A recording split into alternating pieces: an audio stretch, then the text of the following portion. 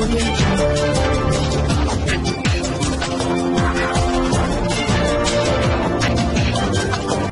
भारत केवल खबरें और कुछ नहीं। नमस्कार मैं हूँ अंजलि। आरपी भारत में आपका स्वागत करती हूँ।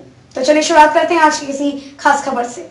समान काम के समान वेतन को लेकर आज छपरा शहर में शिक्षकों ने बिहार सरकार के खिलाफ निकाला मशाल जुलूस। छपरा बिहार पंचायत नगर प्रारंभिक शिक्षक संघ राज्य स्तरीय के निर्णय के आलोक में नियोजित शिक्षकों के साथ सूत्री मांग।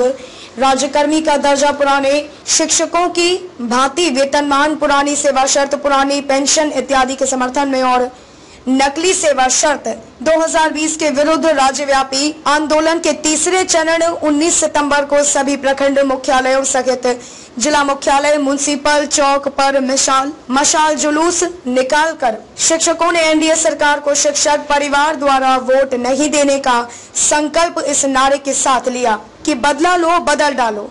उक्त कार्यक्रम में महामारी कानून का पालन, मास्क का प्रयोग, साथ ही सोशल डिस्टेंसिंग का पालन किया गया।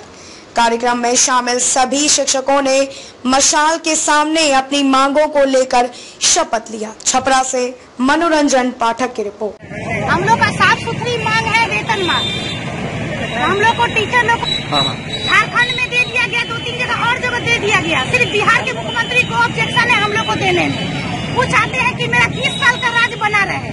एक पूछ अटका के रखेंगे तो मेरा एक पर एक एक पर एक चलता जाएगा और मेरा राज्य बीस साल तक बनता रहेगा यानी कफन तक ले जाएँगे ना नब्बे साल सौ साल तक तब मुख्यमंत्री का राज्य बना रहे। तो ये सोच भूल जाए। न उनको मिलेगा न किसी और को मिलेगा। किसी को नहीं मिलने वाला है राज। कि टीचर लोग को जो दुखा कर आत्मा कुछ नहीं मिलने वाला है। ये जान लेगा टीचर लोग को वेतनमान नहीं मिला नहीं मिलेगा कोई बात नहीं। लेकिन उनको भी मुख्यमंत्री का गद्दी नहीं रहने वाला है ये बता दें क्या नाम है आपका? कुमारी अमिता झा। आंदोलन के तीसरे चरण में हम लोगों ने मसाल जुलूस निकालने के बाद यह वोट की लड़ाई प्रारंभ कर दी है। अगर हमारी सात सूत्रीय मांग शिक्षकों की मांग अगर पूरा नहीं किया जाता है तो हम इस सरकार के, वर्तमान सरकार को हम लोग उखाड़ कर फेंक देंगे और इस संकल्प के साथ एक दृढ़ संकल्प के साथ बदल डालो सरकार की योजना के साथ आज मसाल जुलूस हम लोग लेके निकले हैं और सरकार को सत्ता से बेदखल कर देंगे। इसी तहत हम सभी शिक्षक आंदोलन प्रारंभ किए हुए